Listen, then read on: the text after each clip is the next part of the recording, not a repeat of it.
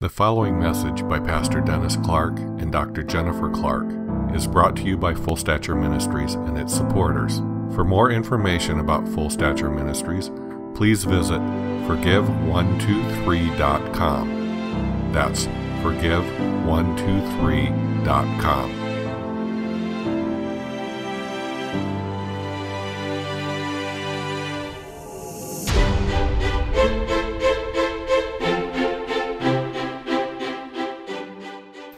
As we begin this morning, sharing from the Word of God on Easter, uh, I like to start with the words of Jesus and also to mention that all of the words of Jesus, when he said, I am the resurrection and the life, he who believes in me, though he may die, yet shall he live. And whoever lives and believes in me shall never die. Do you believe this? Interesting. He said, Do you believe this? Because I am the resurrection. I've spent my entire Christian walk with anything that God says He was, I wanted to know it experientially. And probably the one thing that I believe He's speaking right now, currently, uh, with physical healing and knowing Him as the healer, is that this same God that raised Jesus from the dead will also quicken or give life to your death doomed body or mortal body. How many know that mortal means death doomed? I mean, it's ultimately going to go someday. But yet, God wants to give life, resurrection life, to this death doomed body. Two kinds of life there's the psuche life, life of the flesh, and then there's the life of the spirit. But something that uh, has been on my heart lately is that, uh, and we share this often, uh, that there is a going to be kind of a collision course on what I believe is going to be the difference between people that are seeking after power and people that ha- are going to have the resurrection life that's going to move toward character. And in the, I think it was the early 80s, uh, we used to have uh, prophetic people come and visit my church uh, in Pennsylvania. And when they were done ministering, they would hand me a form as a pastor to evaluate them. I'd like to see that returned. I know if the people that we have that we've ever sent forth, we've given them instruction sheets under full stature ministry so that when they go to a visiting church, you know, they're not just a fly by night and they're held accountable. Wouldn't you feel good if you were a pastor or even a member of a congregation to know that some guest speaker came, left a form for evaluation for that pastor to send back to someone? In other words, there was a, a level of accountability and haven't taught on this in years, but this is the, uh, like I said, in the early 80s, I used to fill these forms out regular because we used to have prophetic ministry come to our, my church. And usually they were recommended by peers, people that, that uh, you trust their opinions. But nonetheless, I felt very secure that they would hand out this form, and it was the 10 M's by which to evaluate. I think we got to get back to. Many will say to me, Lord, Lord, did I not prophesy? Did I not cast out demons? And he's going to say, Depart from me, I knew you not. But there's a, there's a safety mechanism, and that is evaluating the character of the prophet, not just the prophecy. Don't you think? And these 10 M's, I just wanted to cover them to you because I believe this applies to everybody. This doesn't just apply to a guest speaker coming in. This applies to the days ahead to where we evaluate not just gifting, but the character that goes in with it. So I'm going to give it to you in the order it was always given to me when they would come. And this is the way I evaluated them the 10 M's. The 10 M's. So, this message, yes, there's 10 of them, and, and you're going to be counting, oh, he's only on number two, he's on number three. Okay. But in reality, I want you to really write this down because this is something that if God's going to bring a church to full stature, and if Resurrection Sunday isn't just for Sunday, once a year, resurrection life is to give quicken, to give life to that mortal body. And that's going to be something that we're supposed to walk in that life, the Zoe life. There's Psuche life and there's Zoe life. There's Psuche life is the natural life, the life of the flesh, but there's the Zoe life, the life of God. And the only way you get the life of God is from God inside and, and the reality of a conversion experience. So, anyway, uh, determining true ministry by using the 10 M's. Are you ready for it? M number one. And this is good for young ministers, uh, missionaries, uh, anybody with a, with a passion uh, for ministry, but also for any believer because you're in the marketplace and that's your, that's your mission field. You know, actually, when you leave this building, there should be a sign out there, like I had in my first church. There was a sign we had You are now entering the mission field. This is just a time of fellowship, worship, celebration, time where you come together in like precious faith. But once you leave this door, that's where it begins. And the first M of the 10 is manhood. God makes the man before manifesting mighty ministry. He that has ears to hear, let him hear what he's saying. He builds the man or the woman of God before he releases ministry. And many people have the cart before the horse. All they talk is ministry, ministry, ministry, but the character development's not there. It's almost to the point where the church doesn't even mention it anymore. They're looking at the gifting. Did I not prophesy? Did I not cast out devils? I don't know, but God makes the man before manifesting mighty ministry. He said, Let's make man according in our image, according to our likeness. Tells me that he cares about the man and the woman of God man apart from position, apart from the message, or apart from the ministry. Do you know, I used to evaluate that. I would evaluate them apart from their position or title, apart from the message that they preached, apart from their ministry. It was basically what's the man like? Is the man got character? Is the man got the kind of uh, Christ likeness? Um, personality is personality basically evaluating the person, not performance. I hear amen on the person, not performance, because people look at performance. Jesus' manhood, if you want to use him as an illustration, Jesus' manhood was developed over a 30 year period. 30 years in the making of the man. By the Spirit of God, he made that man. He grew in wisdom even by the things that he suffered. He grew in character. For 30 years, his ministry was three and a half years. Does that tell you anything right there? That the making of the man is the primary over the ministry. The second M, ministry itself. 2 Corinthians 6 3 says, We give no offense in anything that our ministry may not be blamed. There was many things that we saw in ministry that basically gave offense. Uh, I know uh, my spiritual father said there's one fellow I'm not taking to the mission field anymore with me, no matter how gifted he is. Uh, took him to Japan, and he wouldn't take his cowboy boots off when he entered the house. All right? Because it was inconvenient. But there's something wrong with the character when you have that attitude when you're in a foreign country, isn't it? I don't care how gifted you are. There's something in the heart that needed work on. My spiritual father said he'd take me anywhere, and he did. So I must have behaved. The only thing he complained about was I talked too much, especially when he wanted to go to bed. He wanted to sleep. So apparently, just the person of Dennis was at least sufficient to go with a seasoned missionary who had been a missionary since the early 50s in the Philippines and elsewhere. Um, so, ministry, by their fruits you shall know them. It doesn't say by their power gifts you shall know them. It says by their fruits you shall know them. Uh, is there results? You know, is there some kind of a uh, good? 1 Corinthians 2, as far as your ministry. And I like this. And my speech and my preaching were not with persuasive words of human wisdom, but in demonstration of the Spirit and power. Most people think strictly in the gifts, in demonstration of the Spirit and power. You're thinking, people got saved, healed, and all of those things. Yes, that's part of it. But it also says in the Amplified Bible, it talks about moral power and excellence of soul. We don't hear people talk much about that. Moral power. How about some moral power? How about some ability to be Christ like? Let's have that the preaching included moral power and, and the, as the Amplified says, excellence of soul. What would that mean? Excellence of character, excellence of, of, of, of a kind of person, not just what they said, not just what they did. So, ministry The prophecies or the preaching was productive, it was proven, it was poor, uh, poor, pure, it could be poor too, but pure, positive. But the prophet who presumes to speak a word in my name, which I have not commanded him to speak, who speaks in my name of other gods, that prophet will die. Whoa.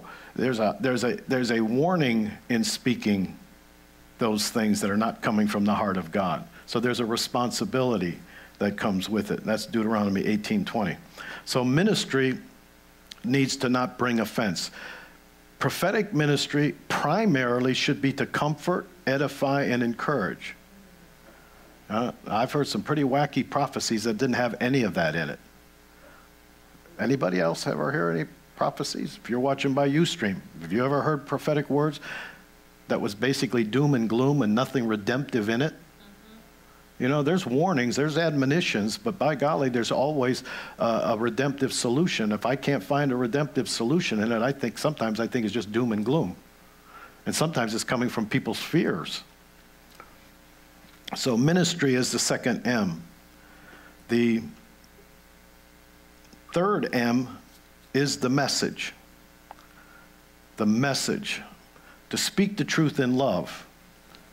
You present truth and it's life giving. The message is balanced. I used to have to evaluate these with, uh, to send it back into the home office of the guest speaker to be evaluated by his peers but it was was the message balanced? Was it scriptural? Was it doctrinally sound and spiritually right?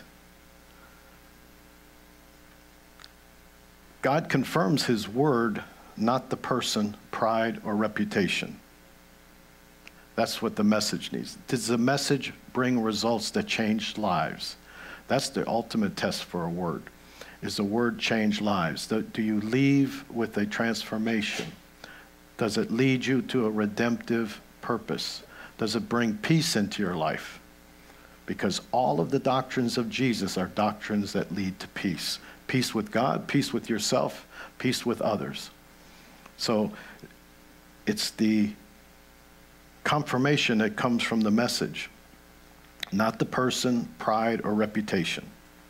That's the third M, the message. What is the content of the message? How many believe that, that uh, Kingdom Life Full Stature Ministries, that the message is basically includes the work of the cross? Do you believe that? Because that's oftentimes when the message is incomplete, they found I'm okay, you're okay, everybody's okay, and just kind of waters it down. The message of the cross must be that God died on that cross. We're celebrating resurrection. By the way, without a resurrection, there really isn't any Christianity. There's no purpose for Christianity uh, apart from the resurrection. And if that resurrection life produced life, this is eternal life, John 17, 3, that they might know me. That there is a place for intimate knowledge with resurrection life, and that it will quicken or give life to your death doomed body. I like that word mortal to your mortal body. That means that death doomed body, there is resurrection life, and that this is life that you might know Him. So it's not even living forever as much as it's knowing Him is real eternal life. That's Zoe life, that's the God kind of life. So speak a message that decrees and declares that, that speaks life. The fourth M, maturity. Maturity means they're not childish. Though I speak with the tongue of men and angels, but have not love, I become a sounding brass or a clanging cymbal. Uh, God's looking for mature. As a matter of fact, he says, don't ordain quickly. Do not lay hands on anyone quickly. Because novices get puffed up with pride and they're more concerned about how they look and how they appear than the message that they're giving. So maturity is necessary. That needs to be the fruit of the Spirit. There needs to be Christ like character. They need to be dependable, steadfast. The lack of maturity shows that we've taken our biblical knowledge, but maturity is not biblical knowledge alone. It's the kind of biblical knowledge that we own to such a degree that we're not tossed to and fro by every wind of doctrine. That's a sign of childishness. Childishness is still tossed to and fro. They haven't really gotten their, their feet rooted or grounded in the things of God. They can be moved very easily. They can be upset very easily. They have thin skin, so to speak, in the church. You know, on the one hand, we need to bring healing to the wounded body of Christ, but on the other hand, there are a lot of people that never get healing because they're too busy living in offenses. Part of the message of the gospel means we're going to give you the tools to deal with your issues and die to your agendas, and then you can mature. You can avoid those and never really make it. So, maturity. Actually, that's Jennifer and I's calling. We were called to the body at large, and we were called to the purpose of maturity. We are the opposite of mothering you and holding your hand and babying you. We're basically desiring to make you feel comfortable and secure, but then ultimately we want to unpack you. We want you to see the potential that's on the inside. And if you're never tested, you never find out what's inside of you. Do you know that? And there's a lot of people don't know what they would do in a difficult situation. They haven't been in a difficult situation yet. But I'll tell you what, it will show you what's in there. And when you stand strong, steadfast in circumstances, patient with people, you will find out that you know you're gonna you're gonna like yourself better because you're gonna see that you did have the potential in there, but you don't know it until it's been tested. You know, I hated basic training in the army. I wanted out. I didn't. I wasn't a Christian, but I prayed that God would get me out, and He didn't. And then after you made it, I was glad He didn't because then I did it, just like tens of thousands of other people, and hundreds of thousands have done it. So did I, but at the same time, it, you didn't feel that way until it was over. Then you look back and you go, wow, I'm glad I did that. Don't want to do it again. huh? But that's the unpacking for the purpose of maturity. God doesn't want you to be a novice. He doesn't want you to be tossed to and fro. He wants you to be able to stand when hard times come. He doesn't want you to collapse and fall apart. The fifth element, the fifth M, the marriage, scripturally in order, personal family versus God's family, blameless, the husband of one wife, temperate, sober minded, good behavior, hospitable, and able to teach and often said that, uh, that if these are character qualities, you just don't look at the external. There's something more important than just having one wife. It's a, are you a one woman man? Hmm? There's some people that have one wife and they got eyes that wander all over the place. That's a character flaw. A one woman man is one who is singular toward the woman that God joined them with. So you look at their marriage. I can remember reviewing one of the prophets that came to, uh, came to my church, and I hesitated, but I had to admit that I felt like that even though he was a well known prophet and very successful, I was concerned that his wife was um, suffering under the circumstances of his ministry and it wasn't real serious, but it was enough to be concerned to where I'm very reluctant to write that. But I wrote down to his bishop that basically I felt like that they needed some time together, that he was gung ho um, ministry, but she was kind of tra- trailing behind, trying to homeschool the kids and do a bunch of other things. And I felt like it, it needed some. Uh, some time, and I just put a mild suggestion. Found out later that I wasn't the only one that was putting the same suggestion. So they were all observing something in the marriage, even if they couldn't put their finger on it. Multiple pastors were filling out their forms the same way. There's something amiss with the marriage. You don't put your ministry before your wife. Got me? You don't put your business before your wife. That's a major, major flaw in, in, in Christians. And that M needs to be looked at in the area. Marriage is to exemplify the relationship of Christ and his church. Your priorities need to be God first, wife second, family, then ministry. Do you hear me? Those of you watching by Ustream, this is so common. I deal with this so often that it, it, it almost gets you weary. Ministry is not first. I'm watching people destroy their families because they're, they feel like they're called of God, and then and then they're mad at God that He didn't support them financially. Did it ever occur to you that God guides where He, provi- he provides where He guides? That perhaps you should be taking care of yourself? You don't work, you don't eat. Mm-hmm. I'm totally convinced that there needs to be effort on your part. There's too many people, quote, living by faith, and it's not faith at all. It's an entitlement mentality. But God's going to get this back and structured. If you're going to really minister for God, you better get your, you better get your life straight first, that it's God first, wife second, family, then ministry. That's just the proper order. I don't know why we don't like that. If you're that spiritual that you can bypass that order, that's scary to me. So start looking at get your priorities straight. Your marriage is to exemplify the relation. The way you treat your wife is the way you're going to treat your constituents. Aren't you? Got awful quiet. Those people on Ustream got real quiet. The way you treat people is the way you treat God. The way you treat God is the way you treat people. If there's, a, if there's difficulty in the way you treat people in general, that's where there is a, there is a problem the way you are in relationship with God. Because a lot of people say, oh, God I love, it's these people I can't stand. That isn't going to hold water in the long run. What God's saying is these attitudes you have toward people, it's also a barrier between you and God. All right? The sixth M methods. Titus 1:16 says they profess to know God but in their works they deny him being abominable, disobedient, disqualified for every good work. You know, rigidly righteous God wants ethical, honest, integrity, and upright. And I'll tell you what, I've seen in my entire life in ministry, I've seen a contrast between those who are marketing themselves with selfish ambition and have a hunger more for power than care about the people they're ministering to. They get confused between ministry, a love for ministry, and a love for the people because of the love of God inside.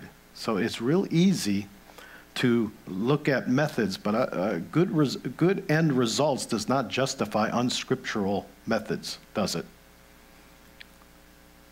For if the truth of God is increased through my lie to his glory, why am I also still judged as a sinner? You know,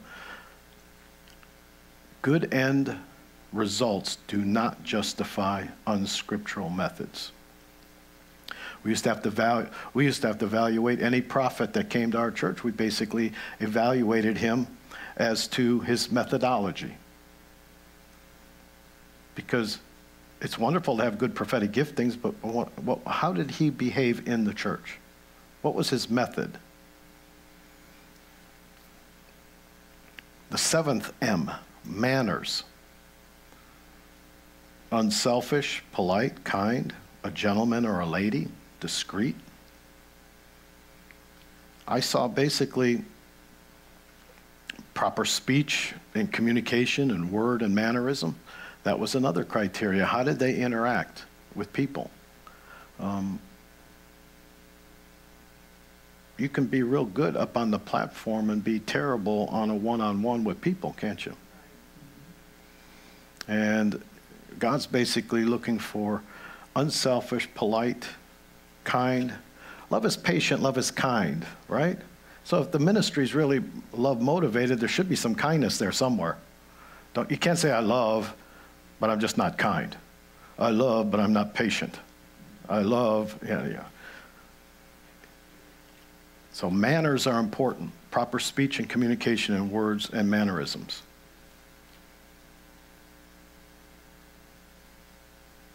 The eighth M how are they on the topic of money? Money is not evil, but the love of money is the root of all evil. Not craving wealth and resorting to ignoble and dishonest methods of getting it. Hmm? Love of money and materialism destroys. We've got Achan, we've got Balaam, we've got Judas. We saw that it can be used against you, can it? So the eighth thing is money. Take heed and beware of covetousness, for one's life does not consist in the abundance of the things he possesses. So basically, evaluate the minister based on their attitude toward money. Or can that be conveyed? Have, have you seen things in the church that had to do with money that upset you? That can mean two things. It could mean you have money issues, and any topic on money upset you, or, or there, was, there was an unkind manner or means to try to appropriate money. Right? That should be, they should be evaluated based on that, shouldn't they? You know, that's why I respect the, uh, it is such a sensitive subject, particularly for unbelievers, that really a lot of ministries are doing the wise thing is they don't ask for money because that's always thrown in their face. If you're a, a, student of the Bible, you're supposed to want to give and know that what you give is because this is part of your way of declaring to God that He owns you and that everything is His. And you're giving a portion back to honor and be grateful for that. But many ministries won't even ask for money, but they're, they're, basically the only way they can survive in a business atmosphere is to basically say, we have product. For your donation of X amount, we can. It's kind of sad that you can't. But there's such a lack of integrity and so much suspicion that you almost have to. Um,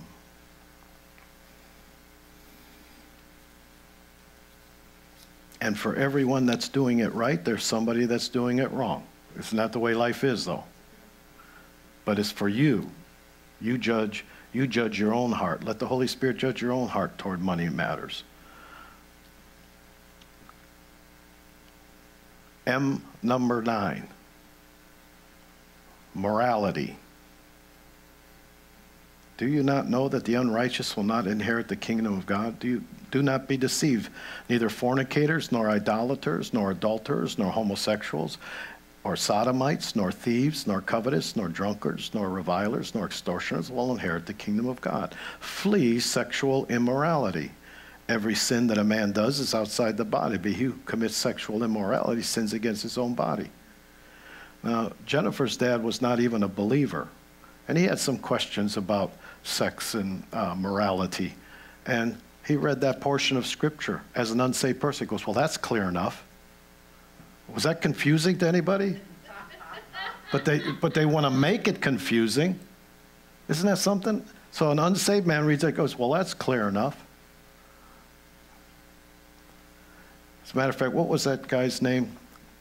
Uh, Razor? Occam's razor. He was a great theologian, and he came to the conclusion that if your argument is extremely convoluted and complicated, the simple version is the real thing. so if something is that complicated, com- uh, like, like the, uh, my drug buddies used to say that God made the herbs of the field and he said they were good. so, I mean, you can do just about anything if you want to.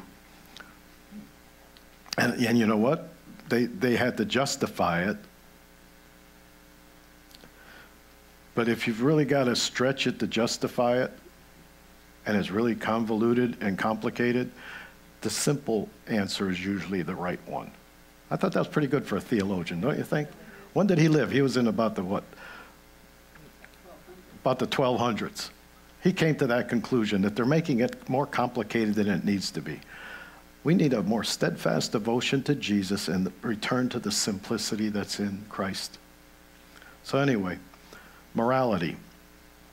No wrong thoughts or desire to do without opportunity to act.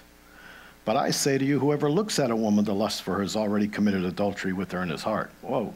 So, this is again character quality. This has to do with the attitude of the heart. It's not even according to your action.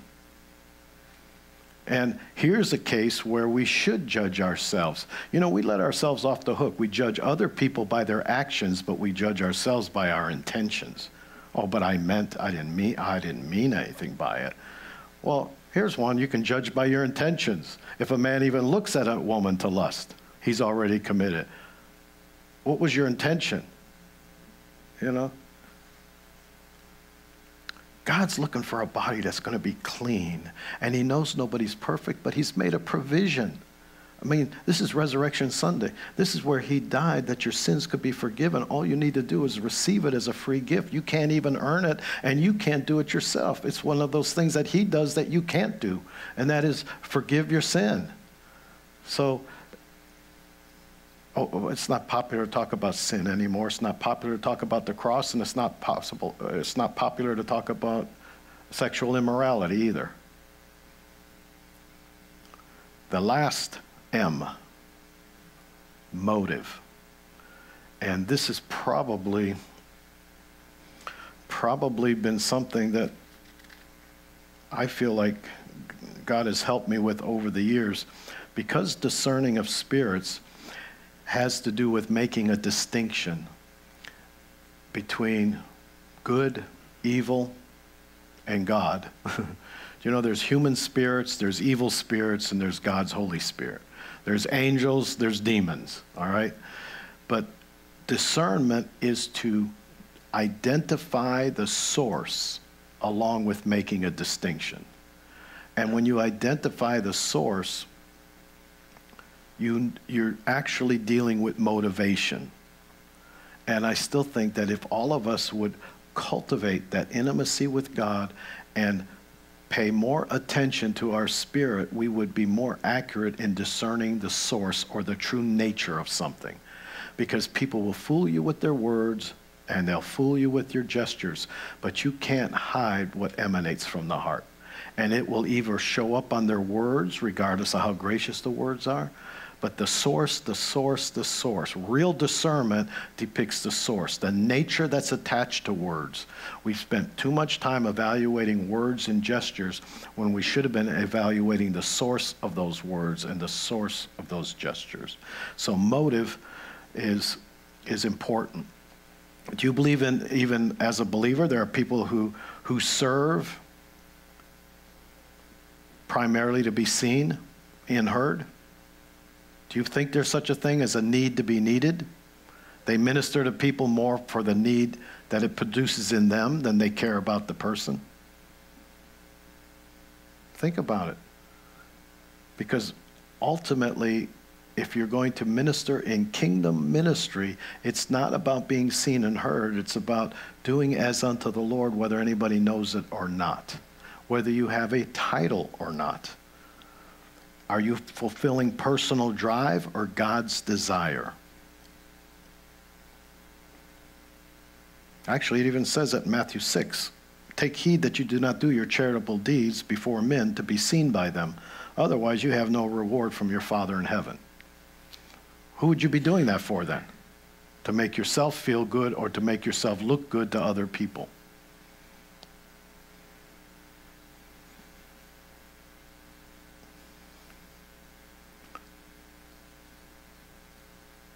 Motivated by God's love, or is it lust for power, fame, and making a name for yourself?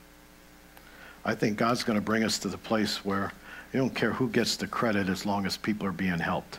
There's got to be a maturation to where we move from child to young man to fathers and mothers. And this has nothing to do with your chronological age. I believe in 1 John when God, when, uh, when John spoke to the audience, he was speaking at spiritual level, regardless of their chronological age. Everybody in the room could have been 30 and over, but he would say, I speak to you, little children, because your sins are forgiven.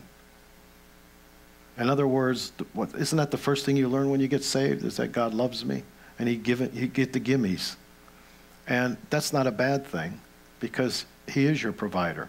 But some people stay there forever, and their whole relationship with God is, what can He give me? That's when you haven't matured. But a young man, it says, But I speak to you, young men, because the word of God abides in you strong and you've overcome the wicked one. That's a notch up, isn't it? I speak to you, young men and women, because you've overcome the wicked one and the word of God abides in you. That means apparently you've matured and you're seasoned by reason of use. You can actually overcome. And actually, people will go to you for help. You won't have to look for people to minister to. That's still need based. And it's still a child, believe it or not. But they will come to you in many respects. Or you will go to them because you know the harvest is ripe. because of sensitivity of your spirit. I speak to you, young men, because you're instruments.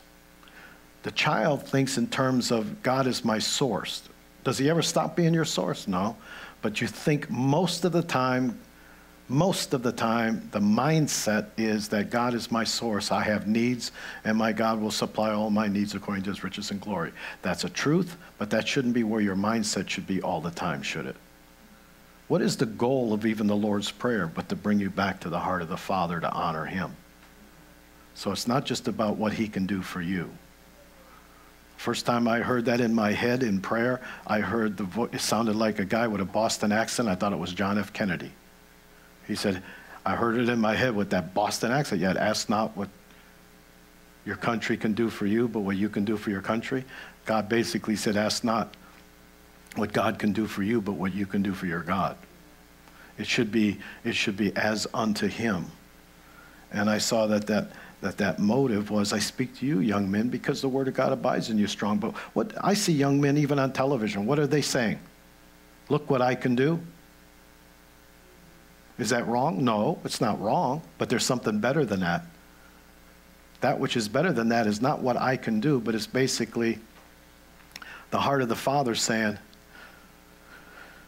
rather than me going to the park and swinging on the swings, I find more joy in watching the kids swing on the swings. I'm more it's more enjoyable to see the children standing on their own two feet and accomplishing. That is the heart of the Father.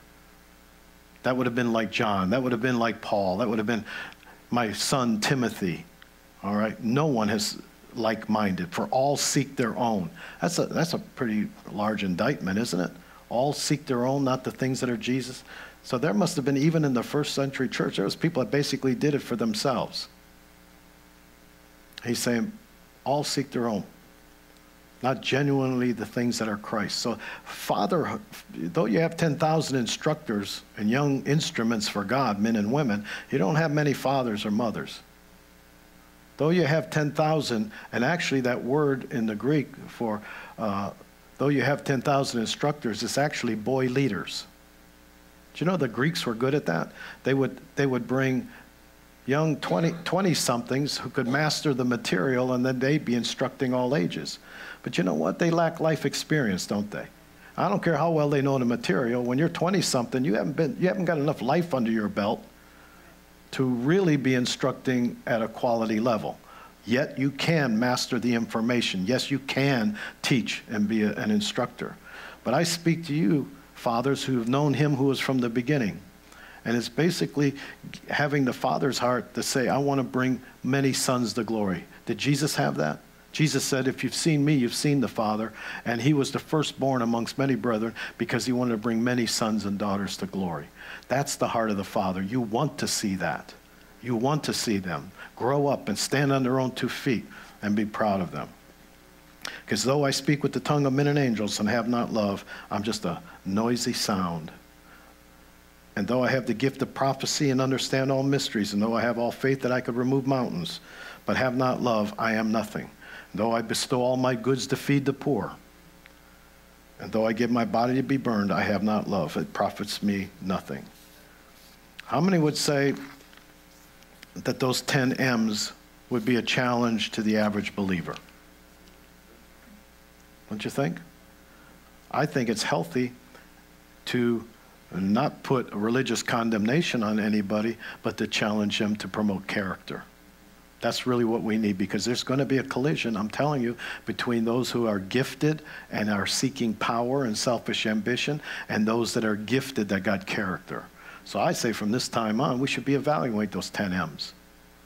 Look at those 10 M's and say, where, where are they lacking? Because if, if he makes the man before he makes mighty ministry, I'm going to look at their maturity level, not their gifting. I'm going to look at their ministry has no offense. There's no offense in the ministry. I'm going to look at the message to see if are they speaking the truth in love or are they just speaking the truth? Big difference because one has a redemptive solution, the other one is just condemning. Their maturity. Do they have the right attitude in human relationships?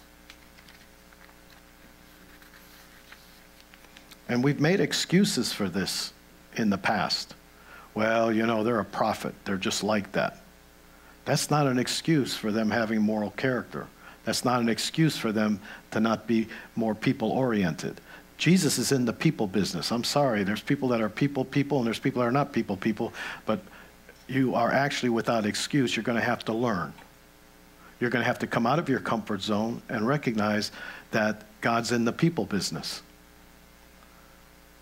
There's that maturity. Then there's the marriage. And again, the primary thing is God first, wife second, family, then ministry. Why that gets turned around and nobody challenges that anymore. But that's, that's God's order. How's the marriage? Wasn't it Billy Graham that was uh, asked, What would you do different after he was up in age? And he said, I'd have prayed more and done less meetings. Hmm? In other words, the meetings were significant for the purposes of God, but there was meetings that apparently he took that he didn't have to take. Hmm? That he might have been better off spending time with the family. So there's a balance there. And you've got to be honest before God to know what is the motive. And God's basically going to bring us to the place where we're going to be concerned about that motive. So, how many wrote down those 10 M's? Did you write them down? How many, if you evaluated yourself by those 10 M's, feel that we could have some work? Then this is Resurrection Sunday. now, don't, don't get sick on me now. this is supposed to be uplifting. All right? But this is the beauty of it. That same power that raised Jesus from the dead will give life to your mortal body, and he will rise up in any of those areas that you allow him. If you allow him, that resurrection life, that same life that raised Jesus from the dead, will bring life in that portion of your body. All you have to do is say, In me, I want a work of the Holy Spirit to deal with money issues. I want him to deal with, uh, I mean, I get we get emails and calls almost continually like, uh, uh, I'm financially devastated. Why didn't God have my back? But I saw in every case that they happened, I believe that what David said, I once was young and now I'm old, but I've never seen the righteous begging bread. If you're begging, there's something significantly that needs adjusted. You need a little reality therapy. All right? How has it been working for you? If God guides, where, if He provides where He guides, how's it been working for you? If it's not working, perhaps you need an adjustment. And the first adjustment to consider is get a job. I remember that young man kept following uh, Denny up in New England. He, he, wanted to be a prophet too, and he wanted a prophetic anointing. How do I increase my anointing? How? And he was trying to be very tactful. Do you know sometimes I think God doesn't want you to be too tactful. Do you believe that? I think sometimes they need to hear the right answer and don't beat around the bush. So he kept following, coming. He said, What do I do to get more anointing? What do I get? He turned around and he says, Get a job, get married, have kids, and your anointing will increase. he asked for that one. Hmm? But he needed life experience. They want, I want more anointing, but I don't know how to navigate in circumstances or with people. Guess what? That's all of life. Colossians 1:11. I'll tell you where, where there's an anointing. Try this one. To be, the New American Standard says, a walk that's worthy of the Lord, being strengthened by his power in the inner man, in steadfastness and patience, with joy. Wait a minute. Steadfastness has to do with circumstances, patience has to do with people, and then with joy. Is that a supernatural work of God or what? That's all of life. Circumstances and people. If there's anything else, I don't know about it. Hmm? Steadfast in circumstances and patient with people with joy. Because there's, there's a lot of people think they're doing pretty good because they're coping. They're putting up with. But God's basically saying steadfast in circumstances, patient with people with joy. I mean, come on. Actually, when I was a young pastor, I had an older pastor tell me, Dennis, he said, you got to just lighten up a little bit. And he said, it's actually quite humorous. He said, there's never been any more entertainment than I've seen in the church. and so I'm thinking about it. I'm going, Yeah, it gets kind of funny. Some of the things they say and do, it, it is gets amusing. If you can't laugh at yourself, because he basically took, got me on the side and said, "Lighten up, Pharisee." that's what we ought to do. Lighten up bit, Pharisee. Guess what? This is the place where it's happening. Anybody that watches soap operas doesn't go to church. If you go to church, that's where the action is. That's where that's where you see people dealing with their stuff. Do you ever see someone dealing with their stuff? What they look like? They should go look in the mirror when they're dealing with their stuff. They'd scare themselves. I don't know. I was kind she, he, what they. You can see all that demonic manifestation on their face. They should go look in the mirror. But anyway, it's where the action is, right? Are you one of those people that knows what's going on and where the action is? Or are you one of those people that hear about it secondhand? Or you don't know what's going on? All of the, if the way you answer those three questions basically determines where you are relationally. Hmm? Let's stand to our feet this morning. Those of you that are watching by Ustream, take those 10 M's and look over them for the rest of the week. And we're going to see if we can bring some life out of those slumbering spirits and, and get rid of the grave clothes and have some resurrection life, not just for Easter, but for the rest of your life. That same power that raised Jesus from the dead will quicken your mortal body. So, Father, we pray right now that out of those 10 M's, that God search our hearts for anxious thoughts, hurtful ways. If there's anything in us that needs an adjustment, we're opening to the work of the Holy Spirit to adjust accordingly. Adjust accordingly. Thank you in Jesus' name. Amen. You've been listening to Pastor Dennis Clark and Dr. Jennifer Clark of Full Stature Ministries at Forgive123.com. Full Stature Ministries reserve all copyright protections under applicable law. Our copyright policy is available at our website, forgive123.com. For more information about Full Stature Ministries and additional life transforming materials, please visit forgive123.com.